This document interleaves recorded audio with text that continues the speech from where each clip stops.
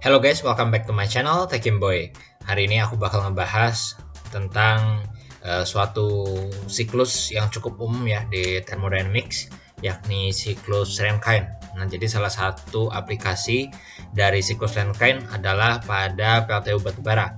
Ya, pada kasus ini kita akan coba melakukan simulasi sederhana pada PLTU batubara uh, dengan siklus uh, Rankine yang satu stage saja gitu ya. Jadi uh, cukup satu tahap. Nah, kalau dilihat dari diagram uh, thermodynamicsnya ada empat tahap ya di sini. Pertama, kalau kita tinjau dari nomor satu, ini ada liquid. Liquid ini bakal dipompa ke tekanan tinggi. Tujuan ke tekanan tinggi adalah supaya nanti kita bisa dapat uh, steam dengan entalpi yang besar ya, supaya nanti menggerakkan turbin ini gitu ya. Jadi karena kita adalah uh, punya uh, punya output atau punya tujuan untuk menghasilkan listrik ya daya yang besar. Nah, jadi kalau kita punya tekanan tinggi steamnya, maka nanti output powernya akan uh, tinggi juga. Gitu. Nah, jadi uh, peningkatan tekanannya dilakukan pada fase liquid ya, tentunya untuk menghemat uh, energi. Nah, jadi nanti liquidnya dipompa, kemudian akan dipanaskan ya atau diuapkan pada boiler. Nah, di boiler inilah tempat di mana uh, diperlukan bahan bakar ya berupa batu bara kalau kasusnya PLTU batu bara. Nah, kemudian setelah dihasilkan steam, maka steam, uh, steam tersebut akan uh, masuk ke dalam turbin ya dan digunakan untuk menghasilkan listrik. Nah, kemudian exhaust dari turbin tersebut akan dikondensasi untuk menjadi liquid ya. Itu akan terjadi secara terus-menerus. Dan di kasus ini kita akan coba untuk menentukan laju alir sirkulasi steam apabila diperlukan daya sebesar 80 MW dan diminta juga untuk menghitung efisiensi siklus. Oke, jadi demikian untuk pendahuluan dan juga kasusnya. Kita masuk ke simulasi. Jadi aku udah ada di HiSys ya. Kita menggunakan yang sederhana saja karena uh, ada satu komponen ya, yaitu air. Nah, kalau menggunakan air saja kita bisa pakai uh, basisnya steam table ya, bisa ASME steam atau NBS steam. NBS steam ada di bawah ya, NBS steam. Oke, kita masuk ke bagian simulasi. Benarkan ininya. Oke. Jadi salah satu uh, informasi yang mudah tersedia adalah di inlet turbine ya atau di posisi nomor 3 yakni tekanan 8600 dan temperatur 500. Nah, ini udah ketahuan dia kondisinya seperti apa gitu ya. Nah, ini kita, uh, saya coba kasih nomor sesuai dengan yang ada di diagram. Ada di 500 derajat dan 8600 kPa atau 86 bar ya. Posisinya air murni. Oke. Nah, kalau mau cek kondisinya dia apa superheated atau saturated, kita bisa hapus dulu 500-nya. Nah, jadi dia saturated di berapa ini? 300 ya 300 derajat celcius. Nah berarti ini kondisinya superheated steam ya. Derajat superheatnya sekitar 200 derajat celcius. Oke okay. nah ini kita masuk ke dalam turbin atau expander ya kalau di sini. Nah seperti itu. Nah, keluar seperti ini. Kita bikin kayak gini. Oke kita beri nama turbine Q the way turbine Oke. Selanjutnya kita punya info di aliran nomor satu ini. Ya, tekanannya di 500 kPa ya, berarti e, eh, 5 bar. Oke, nah jadi udah mulai terbentuk sebenarnya ini.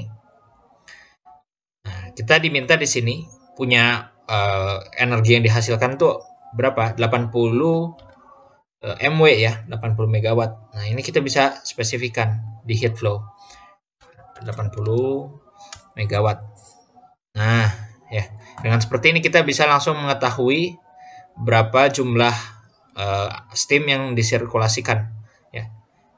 Sebesar berapa nih?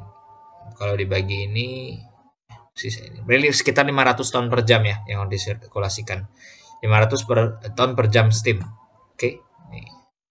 Nomor 4. Kalau kita lihat sebenarnya outlet dari turbine ini kondisinya masih dalam full vapor ya. Jadi masih masih di kondisi vapor kemudian kita akan condense. Nah kondensnya disimbolkan dengan uh, simple cooler saja. Ini condenser. Q condense. Oke aliran nomor satu ya. Nah ini pada kondisi uh, saturated liquid. Jadi, nol ya. Kita anggaplah pressure dropnya uh, sebesar 10, uh, 20 kPa. Oke kemudian tahap terakhir adalah kita menggunakan pump.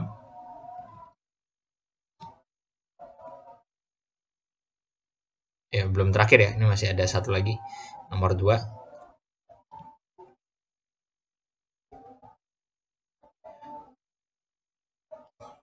pam ya, webpam. Oke. Nah kita akan menghasilkan 8600 kPa tapi karena nanti ada pressure drop di boiler kita anggaplah ke 8620 ya. Di sini 86,2 nah tentu ini dari tekanan 4 ke 86 ini uh, sangat tinggi ya. Jadi uh, itu bisa dipertimbangkan nanti bagaimana konfigurasi dari pompanya. Biasanya dilakukan makanya secara multi tahap gitu ya, multi stage Rankine cycle. Nah, Oke, okay, sudah seperti ini. Tahap terakhir adalah uh, menggunakan heater ya atau uh, sebagai representasi dari boiler. Oke.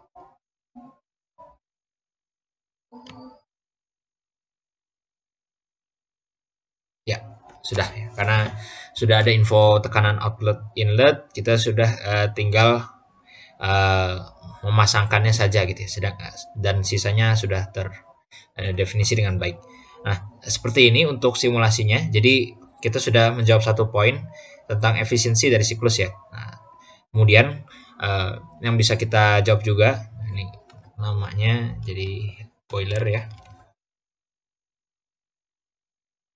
Q boiler. Oke, jadi seperti ini. Kemudian terkait dengan efisiensi. Nah, kita akan coba hitung uh, efisiensi siklus ya. Efisiensi siklus menggunakan spreadsheet. Nah, jadi kalau kita berada pada kondisi aktual, kita tidak bisa menggunakan pendekatan uh, Carnot ya. Kalau Carnot kan pakai temperatur. Jadi temperatur antara hot reservoir dan juga cold reservoir gitu ya. TH min TC per TH gitu ya. Nah tapi kalau di kasus ini kita uh, menggunakan uh, pendekatan dari duty ya. Jadi duty yang dihasilkan dengan uh, daya atau beban dari boiler gitu ya. Nah duty yang dihasilkan sebenarnya kan ada pompa ya. Jadi ada W dari turbine.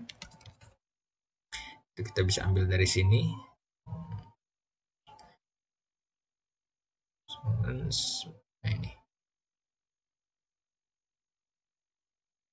Kemudian ada dari pompa. Nah, pompa ini consume power ya, bukan menghasilkan. Oke, kita ambilnya dari sini. Nah, oke. Kemudian uh, Q dari boiler. Itu kita dari Q boiler kita ambil power. Nah, pastikan semuanya satuannya sama ya. Nah, seperti ini.